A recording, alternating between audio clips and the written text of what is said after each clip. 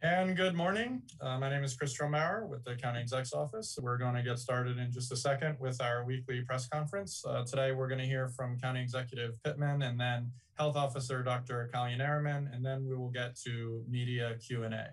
Uh, so with that, I'll turn it over to County Executive Steuart Pittman. All right, thank you, Chris. Um, so the uh, the case rate uh, for COVID is holding steady. Um, we are at a case rate of 15.6. Um, I don't know that I would call it good news. I don't think I actually would.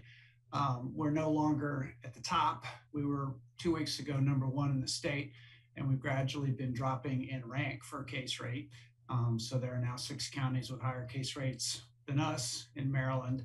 Um, our infection rate is 1.02. We need to get it below one uh, to be able to have a declining number of cases. So um, we're ranked eighth in the state there. And then our positivity rate at 4.6% puts us 15th out of the out of the 24 counties in the city of Baltimore and Maryland.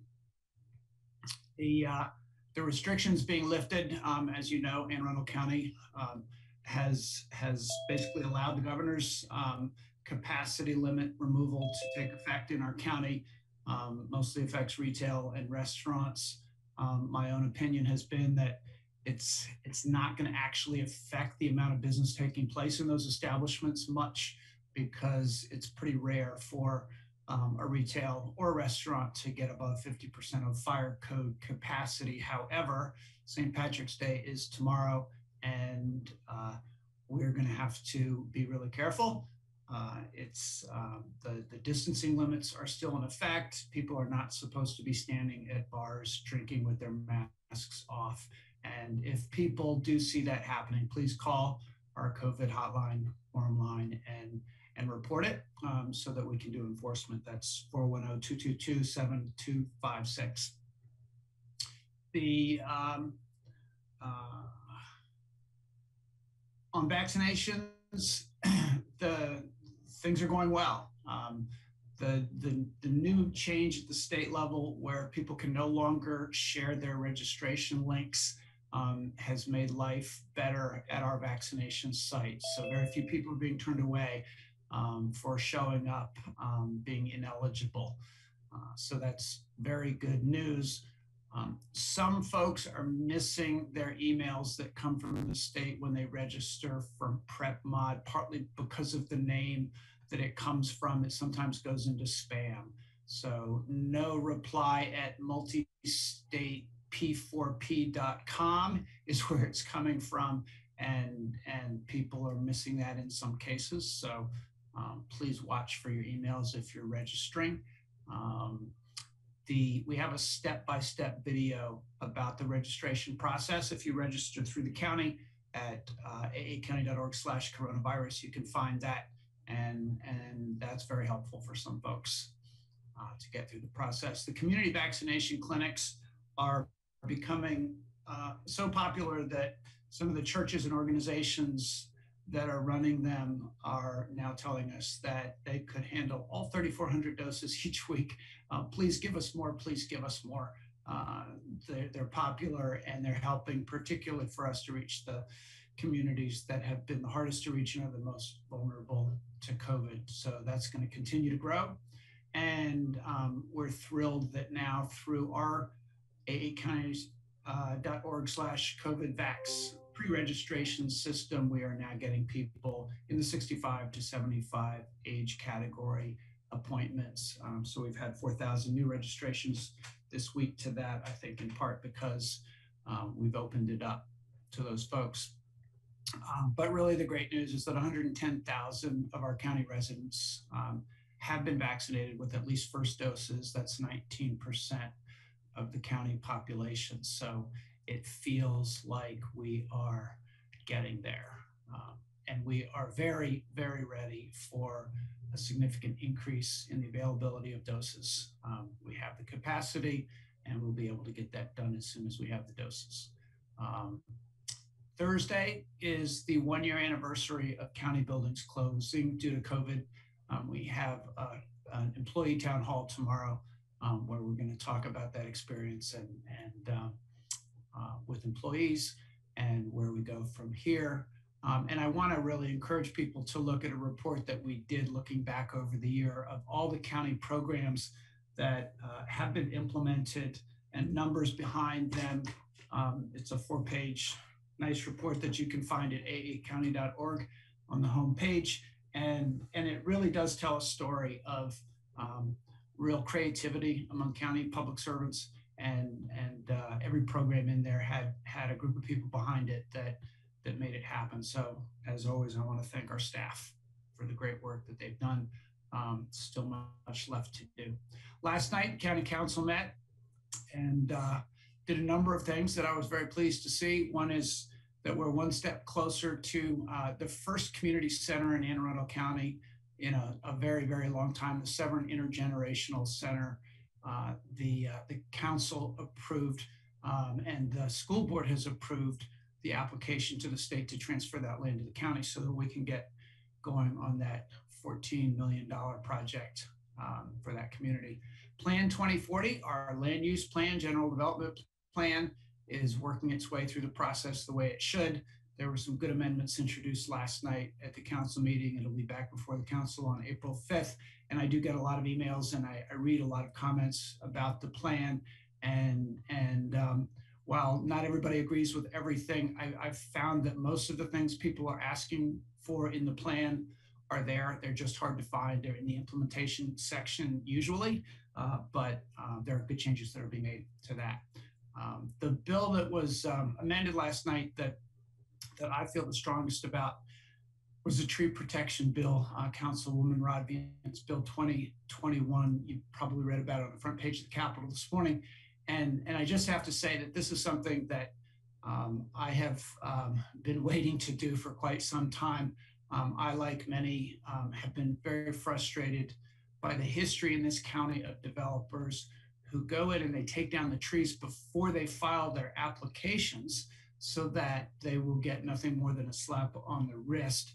The most recent situation with the, the Hogan subsidiary behind Annapolis Town Center was only one, the probably notorious uh, Turtle Run uh, development, Charlie Snyder, the developer, who completely cleared the site before applying and then was um, brought by a previous county executive to, to uh, prosecution before the um, attorney general, and then, um, and then ended up being given a large sum of money from our tree forestation fund um, to pay for his, his losses and buy his land at an inflated price was probably the most notorious example.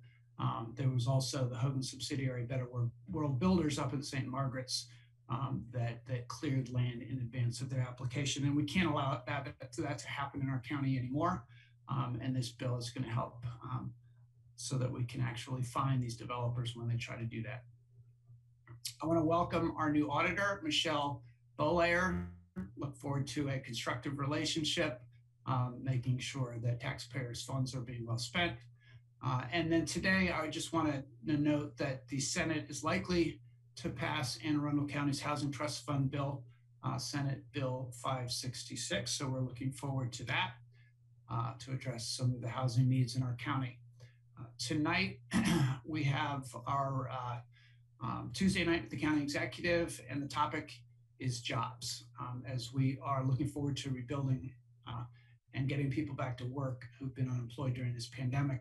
We've got Kirkland Murray um, from Anne Arundel Workforce Development Corporation, as well as the board chair of that organization, Walt Townsend, and uh, Nancy Mishka from Live Casino and Hotel, major county employer, and Julie McGovern from Luminis Arundel Medical Center, talking about job opportunities in the county and, and how we are going to be able to um, link residents to the jobs that we have in our county um, through Workforce Development's uh, strategic plan that they just put forth. Um, and finally, I want to say, um, um, express my condolences to the family of former County Executive Bob Pascal, um, our County Executive for two terms from 74 to 82. Um, county flags will be flown at half mast starting tomorrow for the next three days. So uh, thank you, and over to you, uh, Dr. Kalyanaraman. And Mr. County Executive, can I just jump in for a second? And the, the flags are being lowered immediately. Um, so they they will be lowered starting now. Um, just wanted to clarify that. And now now it's all yours, Dr. Kalyanaraman. Thank you, County Executive. Um, we'll start with the data. Yes, our numbers are looking stable. We're seeing our case rate stay fairly stable, um, around 15. Um, County Executive noted that our um, that the that our number 1.02 says that we're not growing, we're, we're not growing, we're not shrinking, um, and that's why it's really important. It, it's St. Patrick's Day. That's great. Have a beer, but um, remember, COVID's still with us. So please don't, please don't party too hard. Stay with your, stay in your bubbles still. Um, if you've been vaccinated, remember, not everybody has been. Good news is that over 30%, about 31% of people have gotten at least one dose. So 19% have gotten one dose, and 11% have completed their vaccination. So either gotten uh, both doses or the Johnson & Johnson. So we're making a lot of progress, over 10% of the population per month, actually faster than that. Um, with the Biden administration talking about um, more vaccines coming out in April and May, it means we are well positioned. We've got excess capacity, not just the health department, but um, um uh, primary care providers, urgent care, pharmacies, they've got more capacity, so we can get more vaccine doses out. So keep keep doing what we need to do with masking, distancing, avoiding gatherings, just for a couple months longer, right? And then we will really be in a very different place. Our hospitalizations continue to be flat, about 40 to 50 uh, total between. Um, it's a, it's not really coming down anymore. It's it's flattened out there. So we're keeping an eye on that one.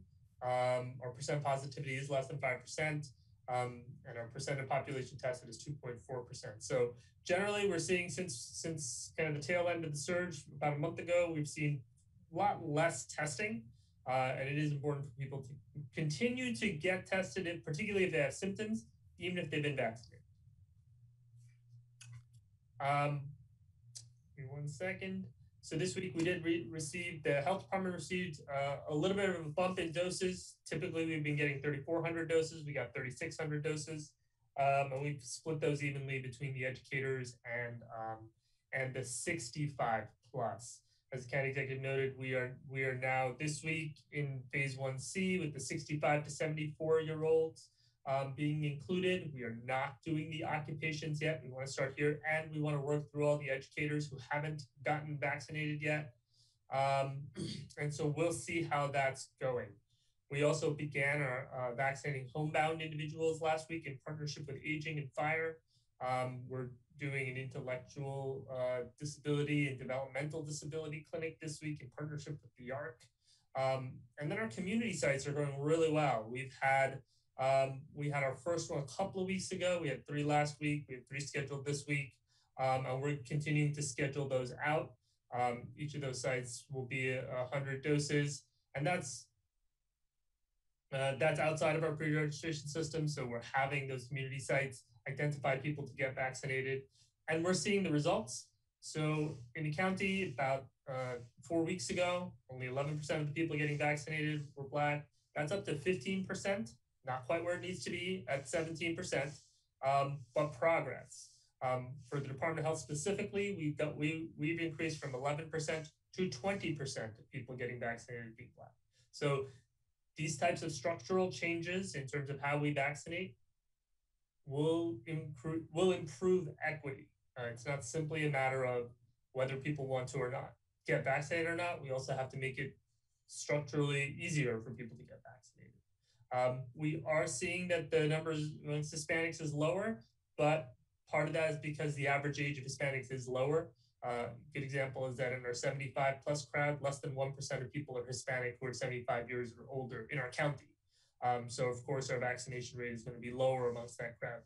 Our goal is to get um, is to work with the Hispanic community to get ready to get vaccinated so that as our categories expand, we're ready to go and we're not um, we're not waiting to figure out why it didn't happen. Um, we're looking forward to opening a site at Pip Moyer in the city uh, starting next week. Um, details being finalized. We'll, be starting with um, some city employees, and then that'll be a site for Um, another site similar to our Lewis Scott uh, and, and O'Malley sites, another place for people to get vaccinated through our registration system. Um, that's it for now. I'm gonna turn it back over to you, Chris. Great, thank you, Nilesh. Um, so we're gonna do questions from media now, and as uh, we usually do, if you would please uh, put your name in the chat, or you can use the raise hand function in Zoom. Uh, we'll start it off with Danielle from the Capital as a first question. Hi, this is Danielle on Olivia's computer. Um, I am curious about testing. I've noticed that some of the testing sites weren't scheduled on the calendar this week. Um, is the county ramping down testing in order to ramp up vaccinations? Um, are you seeing less people interested in getting tested? So we are seeing a lot less interest. We've interest. We've been talking about that, um, and so we are pulling some of our testing staff to to increase our community vaccination programs, um, and we'll be looking at uh, testing capacity in the coming weeks. We're going to maintain some level of testing capacity, um, but as we see more vaccines, we will be shifting that staff over into vaccinations. Thank you. And we've got a question from John Frenaye from Eye On Annapolis. This is for Dr. Kalyanaraman. Um, Senator Elfreth sent out a, a, bulletin yesterday saying that less than 10% of people that have registered on the county's vaccine site have actually ended up getting a vaccine at the county. Has this created a, a huge scheduling issue for you? And are there any wasted vaccine shots? And do we know where they're going? No, that's a lot of questions, John. Let me try to take them one at a time. Well, you, you, you do it when you can. You take it when you can. Um, I'll answer the easiest one first. There's no wastage. Um, that's that's number one. Number two, that's the reason we've actually switched to that sign up genius method of asking people when they're going to get um, when they want in a clinic and sending them a single uh, a single invite is to cut down on that appointment sharing and no shows. Some of our sites we're seeing up to 25% no show slash turnaway. Um, as you can imagine, that's a that's a really difficult problem to to handle while we're trying to vaccinate people and trying to stay within our categories.